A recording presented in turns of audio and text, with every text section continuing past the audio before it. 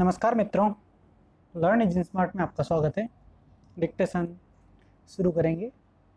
Start आदरणीय मुख्य न्यायाधीश, बहुत ही पीड़ा और चिंता के साथ हमने ये खत लिखने की ज़रूरत महसूस की है, जिससे हाल के समय में इस अदालत द्वारा लिए गए कुछ फैसलों पर आपका ध्यान आकृष्ट कर सकें।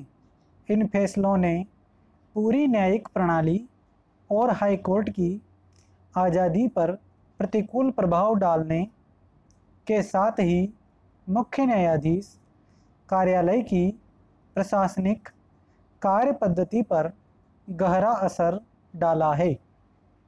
कलकत्ता, बॉम्बे और मद्रास हाई कोर्ट की स्थापना के बाद से ही न्यायिक प्रणाली की अपनी कुछ परंपराएँ और मान्यताएँ स्थापित हुई हैं।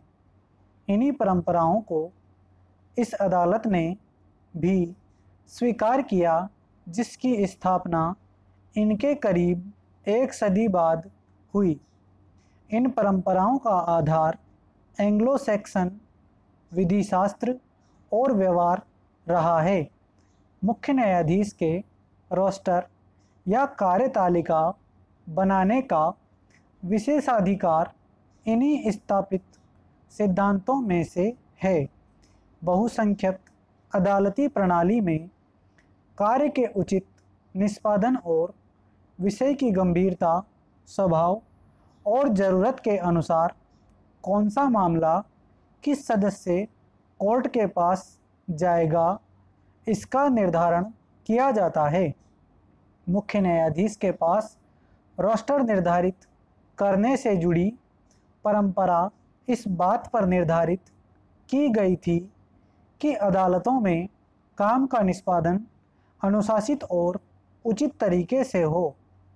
इसका अर्थ सी जे आई की वरिष्ठता को स्वीकार करना नहीं था। इस देश के विधि शास्त्र में ये एक पूरी तरह से स्थापित तथ्य है कि मुख्य न्यायाधीश अपने सहकर्मियों में सिर्फ़ प्रथम हैं, उनसे ज़्यादा या कम नहीं। रोस्टर के निर्माण में उन्हें निर्देशित करने के लिए पूर्व स्थापित और समय की कसौटी पर परखे गए सिद्धांत हैं। चाहे वो किसी मामले या विशेष मामले में न्यायाधीशों की संख्या या संगठन तय करने की बात ही क्यों न हो? इन सिद्धांतों से ही तय दूसरा नियम यह है कि रोस्टर में इस अदालत समेत किसी भी न्यायिक न्यायिक इकाई की ओर से हस्तक्षेप नहीं किया जाएगा, न ही संगठनात्मक या न संख्यात्मक आधार पर।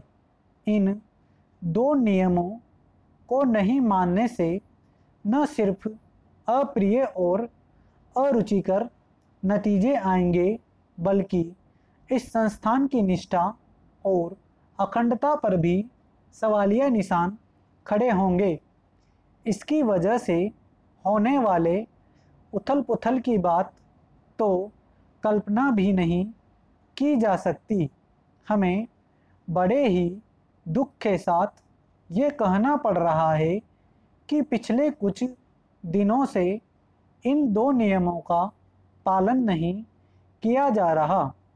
ऐसे कई उदाहरण देखने को मिले हैं, जब ऐसे कई मामले जिनका देश और इस अदालत के ऊपर दूरगामी प्रभाव हो सकता है, को बिना किसी औचित्य व विशेष कारणों से अपनी पसंद की बेंच को दे दिया गया।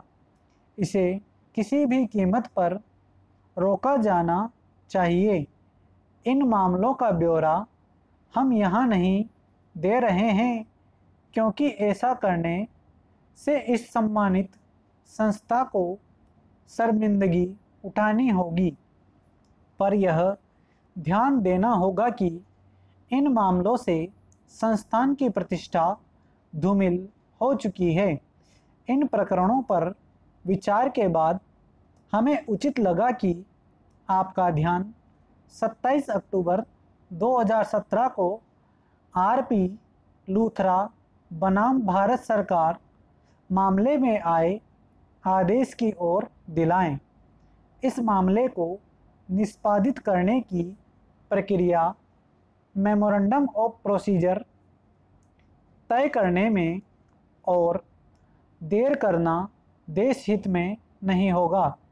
ये समझना कठिन है कि जब ये प्रक्रिया तय करने का अधिकार इस अदालत की संविधान पीठ को Supreme Court advocates on record association बनाम भारत सरकार मामले में दिया गया था तो कोई और बेंच इस पर सुनवाई कैसे कर सकती है? उपरोक्त विषय के साथ संविधान पीठ के फैसले पर पाँच जजों के कॉलेजियम, जिसमें आप भी हैं, में काफ़ी विस्तार से चर्चा के बाद मेमोरेंडम ऑफ़ प्रोसीजर तय किया गया था। इसके बाद ही मार्च 2017 में तत्कालीन मुख्य न्यायाधीश ने इसे भारत सरकार को भेजा था। भारत सरकार ने इस पर कोई प्रतिक्रिया नहीं दी और इस चुप्पी के मद्देनज़र ऐसा समझा जाना चाहिए कि कॉलेजियम द्वारा तय मेमोरेंडम ऑफ़ प्रोसीजर को Supreme Court advocates on record association पर आदेश को देखते हुए भारत सरकार ने स्वीकार कर लिया है। इसे देखते हुए ऐसा कोई औचित्य या मौका नहीं दिखता है कि इस बेंच को इस मेमोरेंडम ऑफ़ प्रोसीजर के ऊपर कोई टिप्पणी करनी पड़े या मामले को लटका कर रखा जाए। 4 जुलाई 2017 को इस अदालत की सात जजों की खंडपीठ ने जस्टिस कर्णन मामले पर फैसला दिया था। इस निर्णय में आरपी लूथरा से संबंधित हम में से ही दो जजों ने ये टिप्पणी की थी कि जजों की नियुक्ति प्रक्रिया पर फिर से विचार करने की ज़रूरत है और ऐसे मामलों में महाभियोग की बजाय सुधारात्मक प्रक्रिया अपनाए जाने की ज़रूरत है। मेमोरेंडम ऑफ़ प्रोसीजर विषय से संबंधित कोई भी चर्चा पूर्ण पीठ के आगे मुख्य न्यायाधीश के समक्ष ही की जा सकती है। ऐसे गंभीर विषय पर अगर न्यायपालिका को निर्णय लेना पड़े तो भी सिर्फ़ संविधान पीठ इसके लिए सक्षम है। इस महत्वपूर्ण घटनाक्रम को बहुत ही गंभीरता से देखे जाने की ज़रूरत है। आदरणीय मुख्य न्यायाधीश, अपने कर्तव्यों से बंधे होते हुए इस जटिल परिस्थिति के समाधान को बाध्य हैं। उन्हें कॉलेजियम के सदस्यों से पूरी चर्चा के बाद और बाद में अगर ज़रूरत हो तो अन्य जजों के साथ भी बात करके सुधारात्मक कदम उठाना चाहिए। 27 अक्टूबर 2017 को आरपी लूथरा बनाम भारत सरकार मामले में दिए आदेश के मुद्दे को जब आपके द्वारा उचित तरीके से सुलझा लिया जाएगा और ज़रूरत हुई तो हम आपको अन्य ऐसे न्यायिक आदेशों के बारे में भी विशेष रूप से बताएँगे, जिन पर भी इसी तरह विचार किया जाने की ज़रूरत है। स्टॉप दोस्तों डिक्टेशन कैसी लगी? कमेंट करके ज़रूर बताएँ और लाइक और शेयर करें। धन्यवाद।